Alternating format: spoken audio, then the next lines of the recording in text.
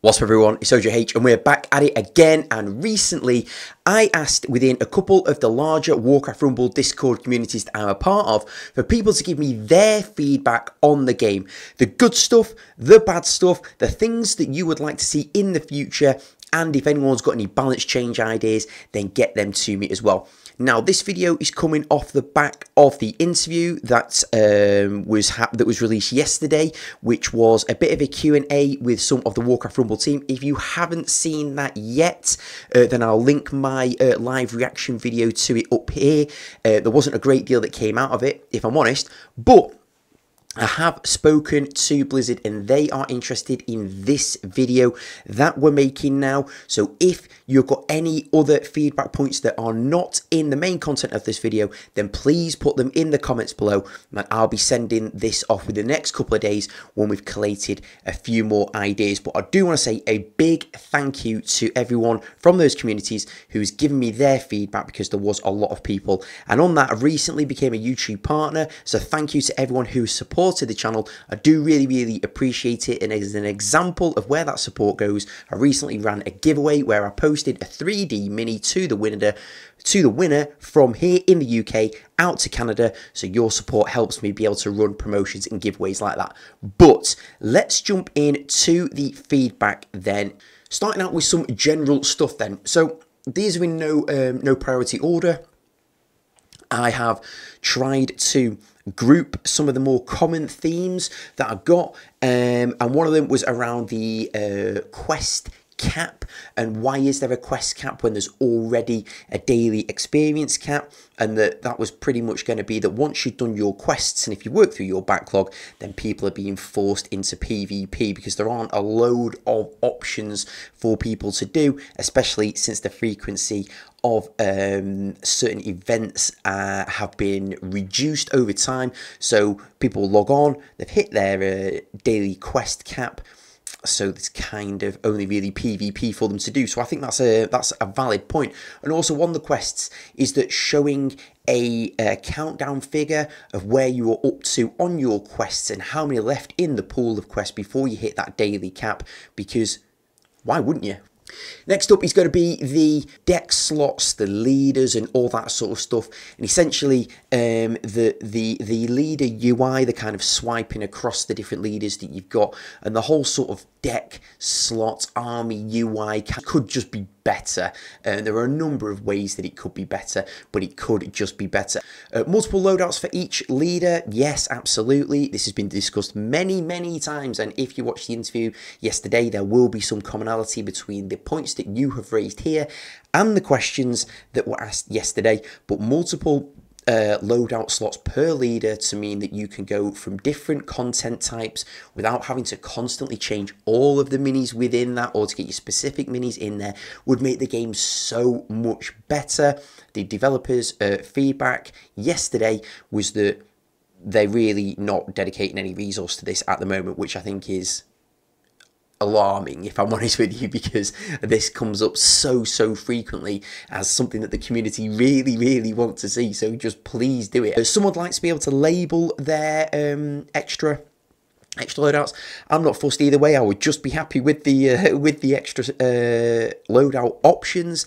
Um, but hey, uh, I don't think that's coming anytime soon. And then also to add more well-known leaders to the game, Thrall, uh, Illidan, etc., etc., whether you add them as leaders or add them as minis, to be honest, these are some pretty big characters, and it might be doing them a little bit of a disservice to have them in as your just like regular uh, minis that can be used in any army, so possibly new um, possibly new leaders when they come into the game. Again, this was mentioned to the dev team uh, on the interview yesterday, uh, or to the representatives from Warcraft Rumble, and they said that they are Warcraft Rumble fans first and foremost, but they were not going to commit at all to whether this was going to come in the future, whether it's been worked on at all. Um, so, look, it's been asked for by plenty of people, plenty of times, and we'll have to wait and see where we get to on that one rework of the Guild War Chest. So I have been like um, you know asking about the Guild War Chest regularly since its inception because many guilds finish the war chest very very quickly. Now, I'm sure there'll be some guilds out there that it maybe takes a little bit longer, and there might be some out there that aren't up to capacity or don't um, don't play uh, that often, have that activity level, who don't quite complete it. That's absolutely fine. But as far as the actual rewards of it go and how you can complete that and how quickly it can be completed if you have an active guild, and also with the Cenarion family coming into the game soon, that there will be a sixth family contributing to your Guild War Chest, but the Guild War Chest still only has rewards at 10k, 20k, and 30k. So you're going to have even more opportunity to complete that but no extra value. And I think that in adding the Cenarion family, they missed the trick by not making the Guild War Chest better, basically. And by better, I mean to have more rewards on it. Um, Again, let me know in the comments if you agree or disagree with that. In fact, let me know in the comments if you agree or disagree with any of this. Or if I don't cover a particular point that you want to mention, get it in the comments and we'll uh, I'll forward that on for you. And then again, this was mentioned in the interview, trading your cores. So whether it be trading, trading from rare to epic, epic to legendary, whatever it is, but I know that there are a lot of people sat with uh, 15, 20 rare cores in their inventory, crying out for epic cores, desperate for epic cores, but they are few and far between. Um, and it's just really, really frustrating because there are a number, there are essentially too many currencies um, was another bit of feedback in the game. When you want to level up a mini, you need to have experience, you need to have stars, you need to have Arclight energy, and you need to have the core to get them there. Um, and, you know, it, the core thing, I, I feel that there should just be a trade up mechanic in there. I don't know, make it five five rares for an epic. It, it, it look, it doesn't really matter, but epics are uh, rares are much more frequent in the game than epics. It bottlenecks when you're trying to get car, uh, your minis to epic. Just put a trade in there, please. So talking of the economy then, um, as I just mentioned there, there are frustrating bottlenecks because um, of of the way that it, the way that the, the game mechanics work. Um, so you're trying to get your stars uh, from the grid, probably most probably then in the early times or, or lower in the um, lower in your leveling journey it seems like you've got Arclight energy to burn and that you'll never run out of Arclight energy and then shortly after that you realize uh, when you're getting a bit more leveled up that actually Arclight energy comes at an absolute premium and you can only get it by doing your dungeon Again, the comment here is haven't seen an epic core in weeks. Yes, exactly. Um, and the resource balance is, is very far off. So the suggestion here is that you should be able to grind everything in the game and it just comes down to the time that you put in as to how much uh, or to how soon you can access that. If you do want to pay things, then you can pay to accelerate that, but not pay to get hold of things like an Epic Core just because they are not turning up in any other um, bit of content. And as I just mentioned there, uh, there are so many different um, currencies for you uh, required to level up your minis that you're bound to come up against a bottleneck at some point when you need four different uh, four different currencies uh, for each mini. So I'm, uh, I'm, on, I'm on board uh, with, with, with many uh, bits of that.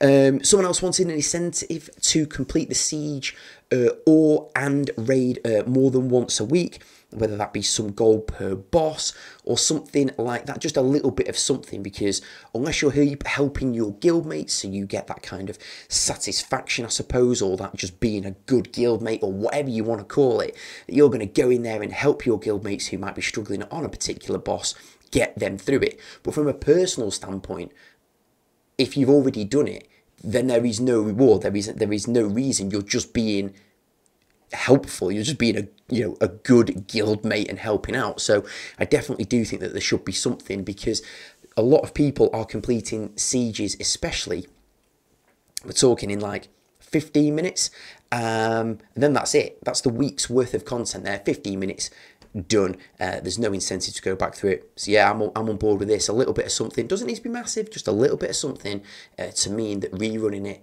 uh, does have some benefit. And then achievements, again, achievements was mentioned uh, in the uh, Q&A. Um, the, the, the response um, to the achievements question had nothing to do with achievements. Um, I'd like to see achievements in there. There are plenty of achievements in World of Warcraft. There are plenty of achievements in other mobile games that I play, like Clash Royale, like Squad Busters. Use X Mini uh, so many times, get so much damage with X Mini, or whatever it uh, might be. There are so many things that could be done around achievements, and especially to encourage use of minis that really don't get much uh, use at all. As I mentioned before, gaining Arclight energy is too slow. I definitely agree with this. Uh, the adding of the mega, mega and mythic tomes and gold as rewards in the dailies was a very nice touch, and I do completely agree with this. It was much uh, nicer to uh, be completing those dailies, not just for some, uh, you know, some prettier some pretty non-impactful, uh, you know, uh, tomes basically.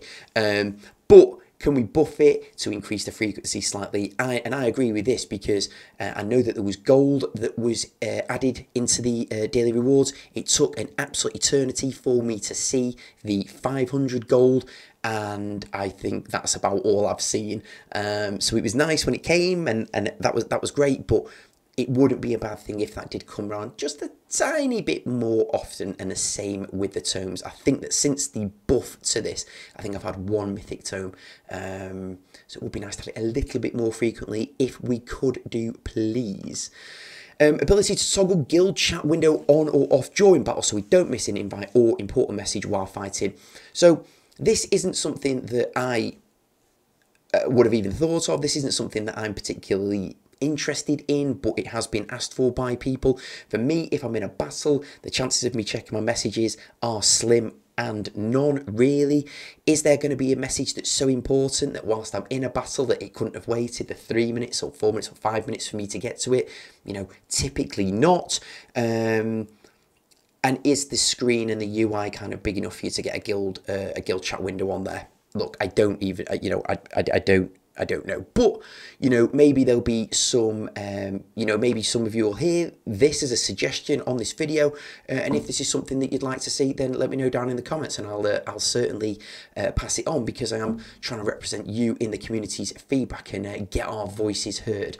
Um, Bring back previously expired zone offers every now and then in case we want to buy them. I don't, I didn't care about 10,000 Arclight energy in the first month I played the game, but I sure do now. And this goes back to earlier points. And I don't understand because it can't cost Blizzard anything to put the offers into the game. And surely, if someone either didn't buy it or was interested in buying it again, then it's only going to be money in Blizzard's pocket at the end of the day, isn't it? So I don't know why they wouldn't. Um, uh, you know, reissue some of these offers like later in the game. But essentially, to have it as a one hit, one shot that you either buy it now, you beat Onyxia, you buy it now, or it's forever gone. I think just seems a little bit, a little bit strange. I'm not sure of the uh, of the rationale behind that, but. Yeah, and then there was a number of other things that were put in there. Um, they speak for themselves. We don't need to, um, you know, go into loads of detail about these. But a spectator mode would be absolutely amazing be that spectating your guildmates.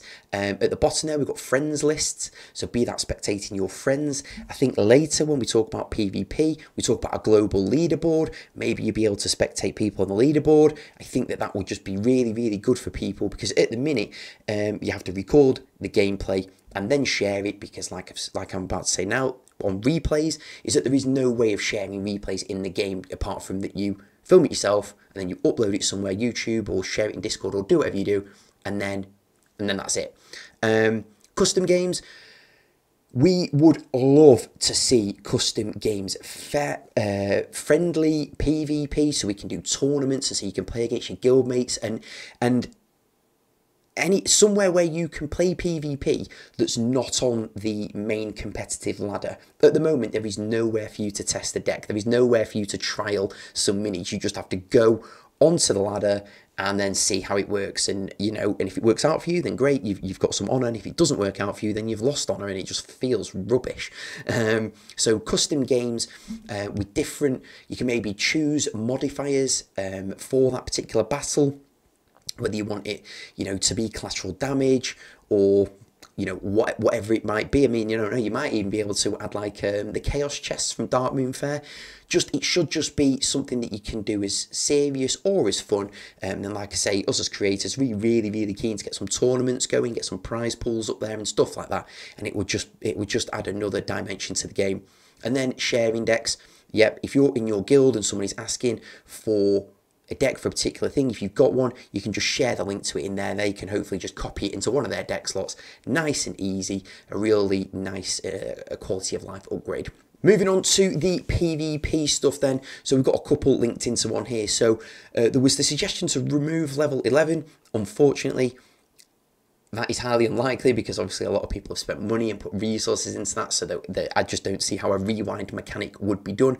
But I do think that level 11 was potentially reach, uh, released a little bit early in the life cycle of the game because there was a lot of people that certainly hadn't made it up to 10 yet. Um, and then adding in level 11 has just made that uh, uh, gap a little bit wider. Although I understand that if there are people who've got a maxed level 10 deck or max level 10 minis um, then it's like an incentive for them to push on excuse me push on a little bit more um, but I do think that level 11 maybe came out a little bit early. And also the removal of the level caps below 3000 honour um, has meant that for new players to PvP, I think the, I was going to say the learning curve is quite steep, but it's not, it shouldn't be a learning curve. Um, although maybe you are just learning that, you know, mini levels are incredibly important in this game, but you're going into PvP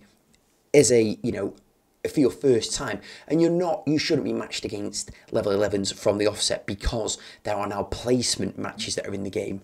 You know bots let's call it right? So there are placement matches that are in the game to kind of get you to where you sort of need to be but you can still run into some some people that have maybe got eights, nines, tens in your early PvP days when you might be rocking some fives and sixes. Um, and no matter how good of a player you are, you're gonna have to be pretty good to overcome, you know, a, a two or three difference. So actually, what has been suggested by a number of people was for more level caps to be added. So a level seven up to 4k, a level nine up to 5k, and then have the free for all happen from 5k onwards. And you know, unless unless there's some reason why that would be a bad idea, which I, I really can't think of at the moment, um, then then I'm all I'm all for this. The matchmaking, I've spoken a lot about the matchmaking. I don't really understand the algorithm for the matchmaking. Uh, you can be matched against seemingly anyone. You can be matched against someone who has minis that are much lower than yours. You can also be matched against the number three in the world player, even when you're nowhere near that level. I'm also not a fan of the matchmaking, sometimes matching you back to back with the same person, or if you're really lucky, you'll get them back to back to back. And if you do end up losing all three, then that's an absolute joy. Um, so I'm, I'm really not sure about the what the matchmaking algorithm is, um, but you know, I've, I've seen lots of people saying that this is a this seems to be a little bit of a mess. Could do the bit of tweaking and a same tower level mode. What's going on with my eye? Yeah, exactly. Some sort of just standard level mode where everybody's minis are level one, and then it's just you versus me. You is tactically better. Adding map rotations modifiers enchants was hugely positive. Yes, it absolutely was. And uh, bringing the rotation of those down to being uh, weekly rather than two weekly, I think was a massive step in the right direction because having to uh, having some of the same uh, having you know a particular tower for six weeks as it was of old felt like a pretty long time um, so having it now weekly changes does help to keep the meta changing albeit that there were comments saying even one week uh, was too slow and that maybe all three at random every game um, and then and then so on and so forth. And for me I think the one week is fine.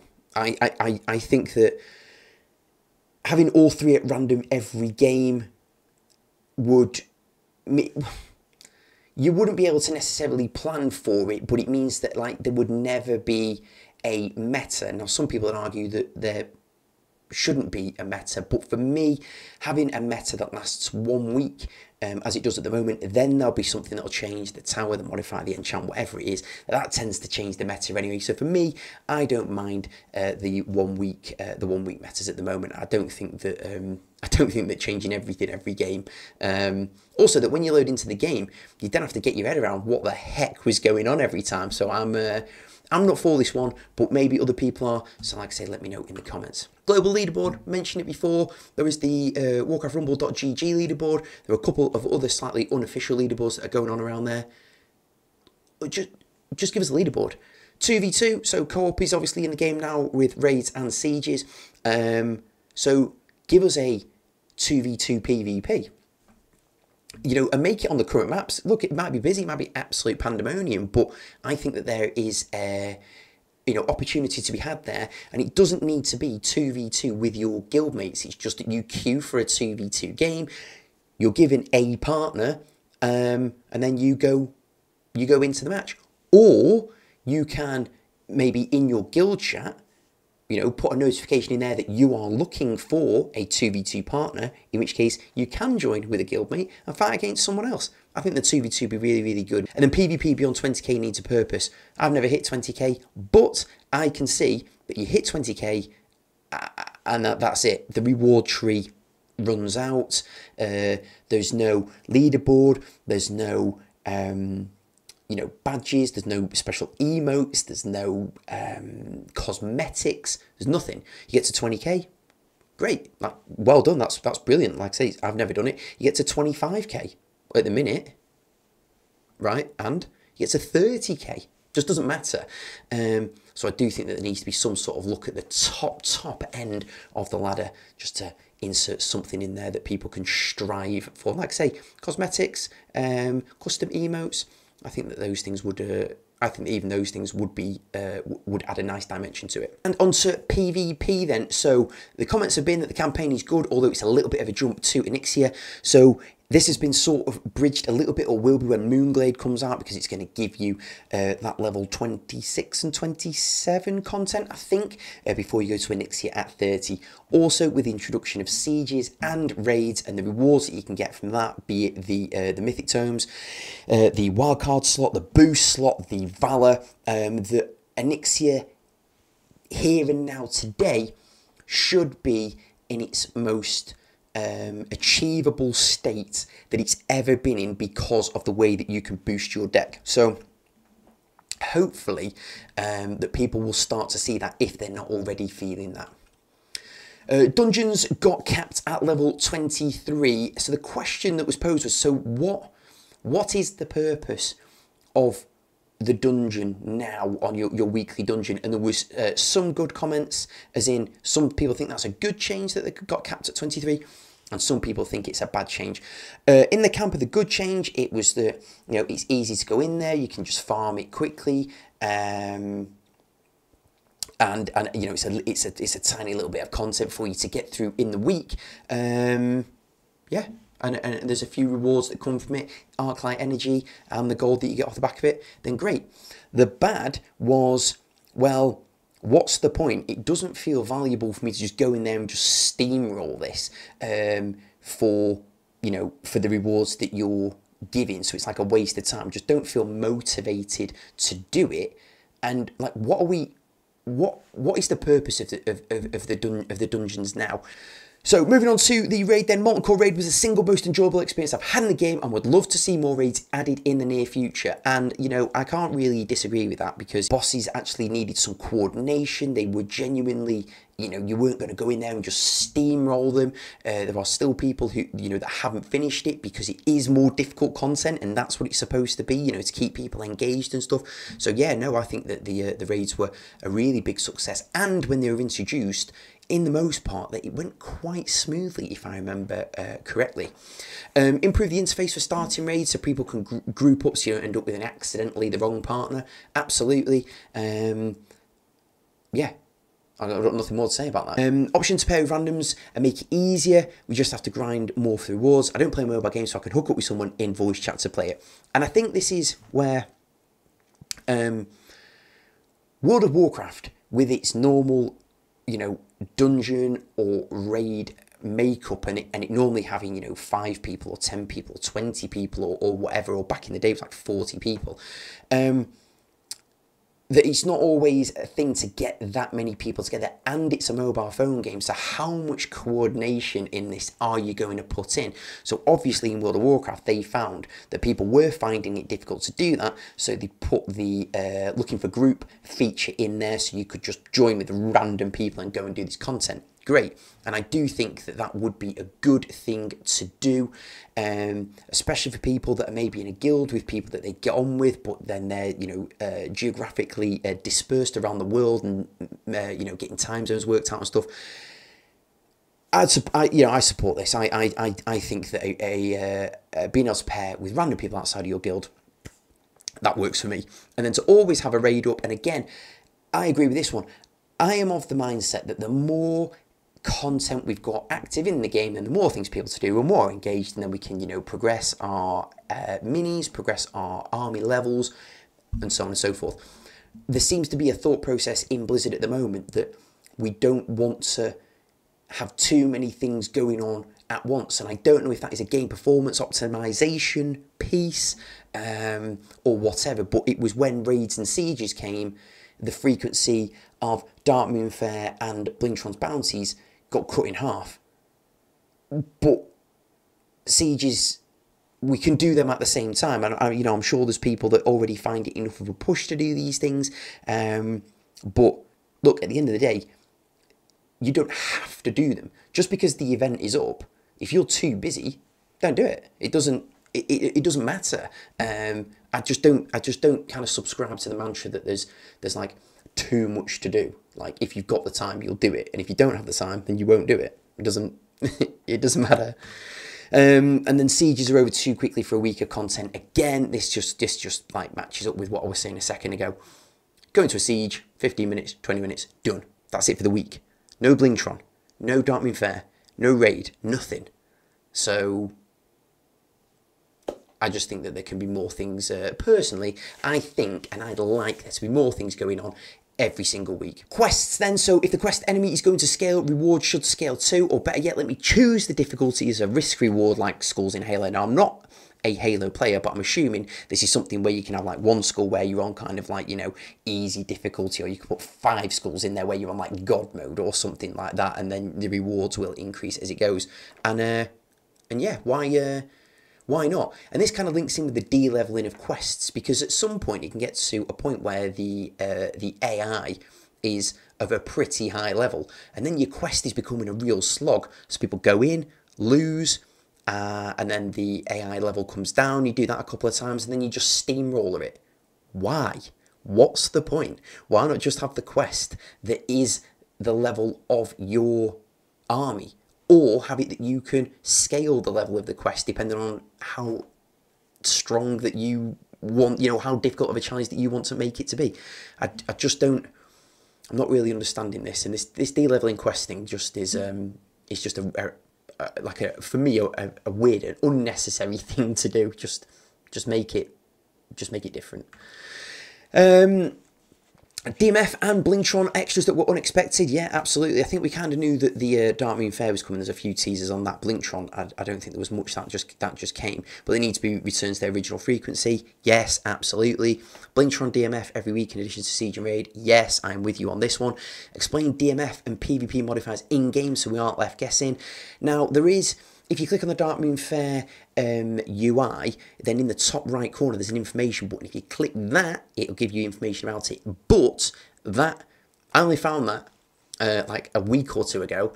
And when I mentioned it in the creator program, that the, the kind of creator manager, I suppose, he also said that he had only just found it as well. So uh, there are um, there are uh, ways of finding out, but maybe it's not the clearest. And obviously, at the moment, there's a bug in PvP where if you click on the tower, the enchant, or the modifier, excuse me, that um, that it doesn't work, and then you need to kind of go through that, clicking on different leaders, and then eventually it'll work. So that bug has been in for quite a while now, and that's quite frustrating. And then make the DMF rewards clearer. Is it one star? Is it four stars? What is it? On the first ever Darkmoon Faire, there was a, um, a mini near the top and then there was the same mini lower down, but with a yellow background. Um, and they both just gave one star. And we said to them at the very beginning, this is confusing. Why is there a different icon when you're offering the same thing? And it was, yeah, okay, no, we get it, we'll, we'll get that sorted. Um, but yeah, here we are. We are weeks, months down the line, uh, and there's still not clear kind of what you're getting um, and why is it costing me so many tickets to get a Holy Nova. Oh, oh, it's four stars for your Holy Nova. well, you know, it, it, it, really, really does need clearing up and, and has done since day one. Balance changes, very, very quickly on balance changes. There wasn't loads of balance changes that came through, but a couple that did was a HP nerf to the Ghoul and the Harvest Golem. Look, I like the Ghoul and the Harvest Golem. They're like two a two and three gold. Uh, Ghoul, decent at tanking. Um, if he gets a chance to do his uh, cannibalize, then he'll stay for stay around for a while. Uh, but I'm happy with the Ghoul. Harvest Golem gets loads of value for three uh, for for three gold, especially if you've either got the stun talent or the chickens talent. You know, we'll we'll get loads of value taking out um, big single target um, minis. Um, Harvest Golem might be a little bit on the strong side. Oh look, I'm happy with them. I've got no problem with them. Increase polymorph by one gold. Hmm. Ah, look, again, you know, I'm all right with polymorph being where it is because if at the end of the day, I think people tend to polymorph then deep breath, um, and that's costing seven anyway. I think polymorph's three, deep breath four. So um, I'm all right with that. I think reduce Sylvanas and Sneed by one gold. Not sure about Sneed. I think that Sneed's got a place at certain times. And if you use Sneed properly, then you can get insane value uh, because of the uh, Sneed before greed and the double gold and stuff. I would like to see something done with Sylvanas, though I know they made her passive uh, so that um, uh, everything had a, uh, everything within the army had a speed boost. Um, but I still think for six gold, uh, I think in fairness, I think most, if not all, of the six gold minis in the game are probably not really worth it for the impact they have. So yeah, I could I could see that. Rework Ragnaros spell or make it one gold. The Blast Wave spell. I don't even know what it really does.